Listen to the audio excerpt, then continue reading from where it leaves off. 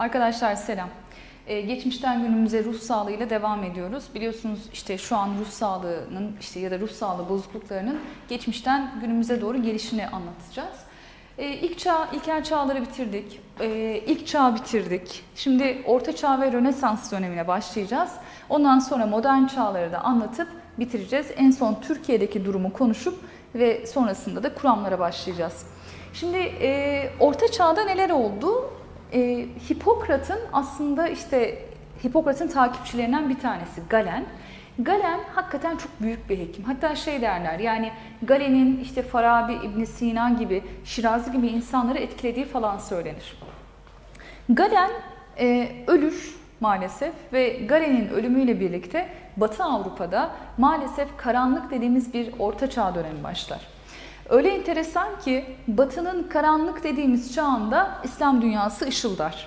Çünkü İbn Sina'lar, Farabiler, işte Şiraziler falan muazzam icatlar ve buluşlar yapmaya başlarlar. Dolayısıyla da İslam dünyası için gayet aydınlık bir çağdan bahsederken Hristiyan dünyası için çok da karanlık bir çağdan bahsediyoruz. E, o yüzden Galen öldükten sonra Hristiyanlık Batı Avrupa'da Hristiyan dünyasında sıkıntılı dönemler başlıyor.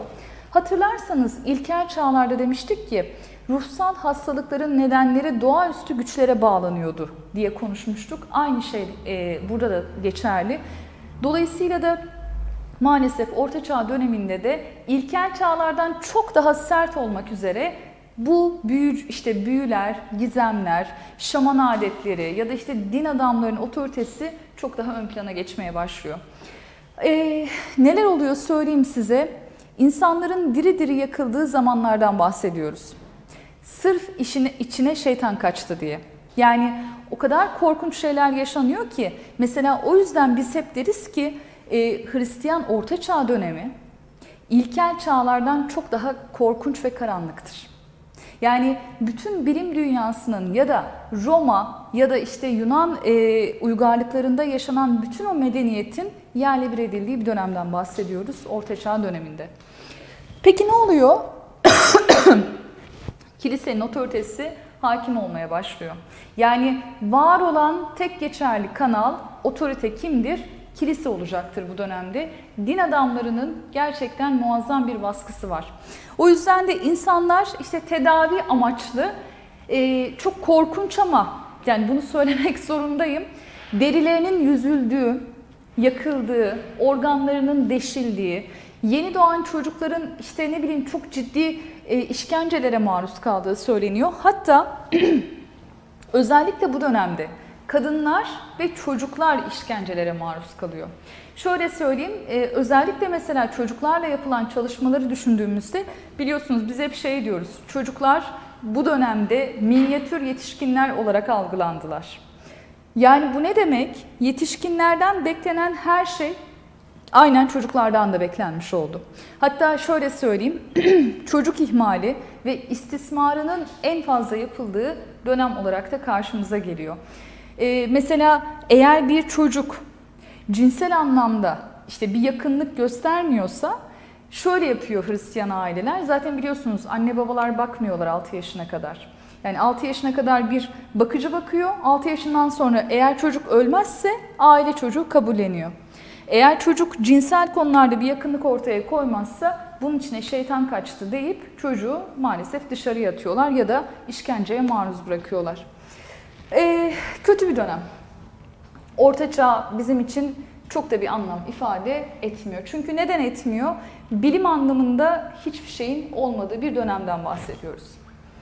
Geldik Rönesans'a.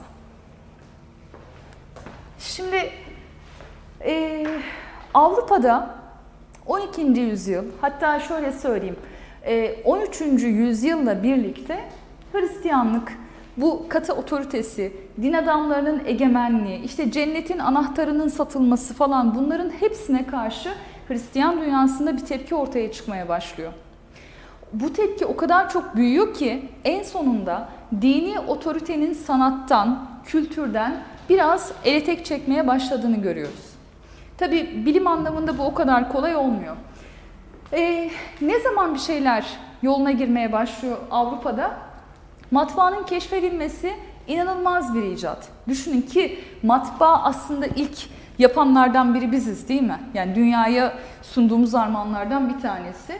Sonrasında Martin Luther'in baş kaldırması, bilim adamlarının baş kaldırması bunların hepsi bir devrim yaratıyor Avrupa'da. Artık nihayet büyücü avı denilen ya da cadı avı denilen şeylerden vazgeçiyorlar. Kitaba bazı parçalar koydum. Cadı avı örnekleri falan var. Onlara bakarsınız. Şu an tabii e, bu videolarda onları ortaya koyamıyoruz ama bir de şunu söylemek lazım. Biliyorsunuz Avrupa İslam dünyasındaki gelişmeleri çok sıkı takip ediyor. Ve İslam dünyasında ortaya konulmuş bilimsel eserleri çevirmeye başlıyor. Endülüsler, daha doğrusu pardon Emeviler Endülüs'ü fethettiklerinde oraya bir saray inşa ediyorlar. Elhamra Sarayı. Elhamra Sarayı arkadaşlar dünyanın en büyük kütüphanelerinden bir tanesi ve biliyorsunuz İspanyollar tarafından yakılıyor. Hatta şöyle e, bir yazı yazmıştım ben Elhamra ile alakalı. Çok da böyle bayağı araştırmıştım o dönem. Bir İspanyol bilim adamı diyor ki bize diyor Elhamra'dan iki tane kitap kaldı. Biz diyor bu teknolojiyi yaptık. Siz diyor bu kitapları yazan insanlardınız ama diyor siz bir noktaya kadar getirdiniz.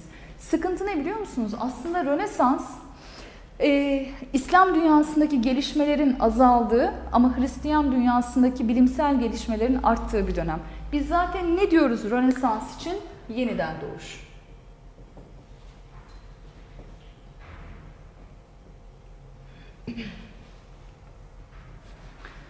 Evet, Avrupa küllerinden yeniden doğmaya başlıyor. Ve 16. 17. yüzyıldan sonra da artık bilimsel anlamda matbaanın keşfedilmesi bu noktada hani çok ciddi ilerleme sağlıyor. Dolayısıyla da matbaanın keşfedilmesiyle birlikte de Avrupa bilim anlamında çok muazzam yerlere doğru kapılarını açmaya başlıyor. Bu konuları anlatırken kendimi böyle belgeselde gibi hissediyorum. Modern çağda anlatalım artık bu çağlar kısmını bir bitirelim. Şurayı siliyorum ben.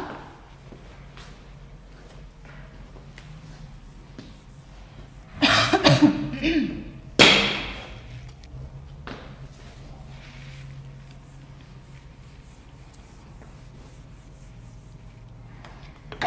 modern çağlar artık son.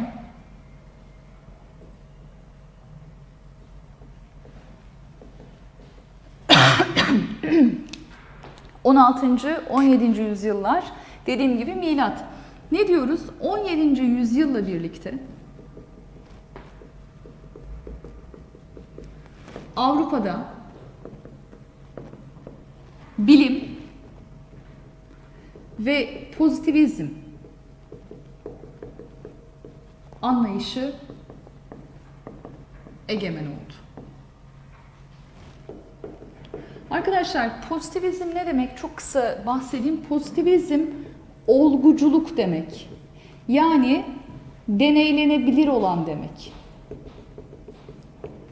Haliyle artık öyle kilisenin bahsettiği şeyler çok da itibar görmemeye başladı bu dönemde ve bilimin yükseldiği bir çağdan bahsediyoruz. Bilimsel gelişmeler yükselişe geçti. Orta Çağ döneminde ve Rönesans boyunca Avrupa'da cüzzam hastaneleri vardı. Belki eski filmlerden falan hani gözünüze çarpmış olabilir. Cüzzamlı insanların böyle kapatıldığı yerlerden bahsediyorum. E, psikoloji açısından önemli bir gelişme oldu. Cüzzam hastaneleri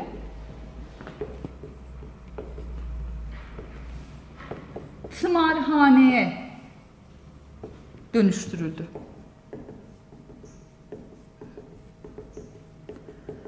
Ama tabii şunu söylemeden geçemeyeceğim. Yani tamam artık modern çağlara geldik ama yani işte cüzzam hastaneleri tımarhaneye dönüştü. Her şey harika oldu değil arkadaşlar. Yani bu dönemde e, yani literatür okurken en azından biz buna rastlıyoruz. Tımarhanelerde yaşayan insanların da halinin içler acısı olduğunu söylemek gerek. Çünkü neden? Mantık şu. Bu sefer bilim o kadar yükselmeye başlıyor ki yani şöyle düşünün. E, bilim dinin yerini almaya başlıyor. Ve bilim adamları peygamberler gibi görülmeye başlanıyor. Bu da tehlikeli bir şey aslında.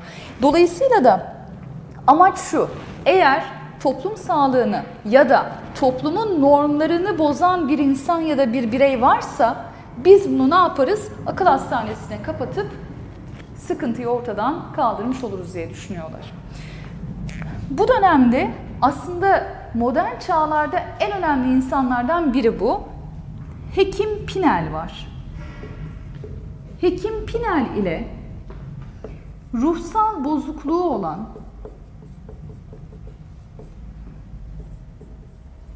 hastaların tedavisinde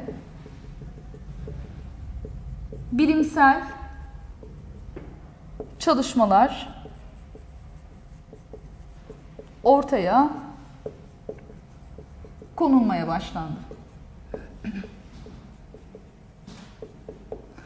Bunu ne izleyecek? John Watson'lar gelecek, Freud gelecek, Mesmer'ler gelecek, işte Bauer'ler gelecek ve ondan sonrasında günümüze kadar gelen bir psikoloji dünyası kendini göstermiş olacak. Ama dikkat ettiyseniz şu an bilimler daha doğmadı.